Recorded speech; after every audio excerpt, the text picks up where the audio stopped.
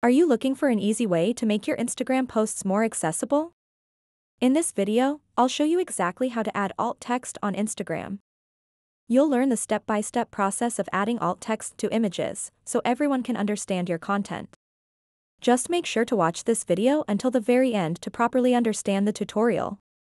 To get started, open up the Instagram application, and then, for the purpose of this video, I'm going to create a new post.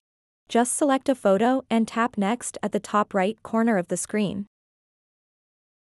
So now, when you are on this screen, you can add a caption to your post, add hashtags, tag people, and do other stuff. If you want to add some alt text describing what exactly your photo is about, simply tap where it says Advanced Settings.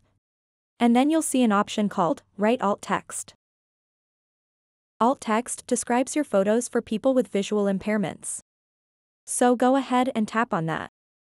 So now you have the ability to describe specifically what's in your photo. This is exactly how you can add alt text on Instagram.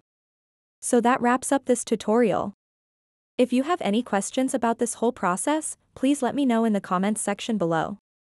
And if this video helped you out, please give it a big thumbs up and subscribe to this channel for more tutorial videos like this one. Thank you so much for watching and have a good day.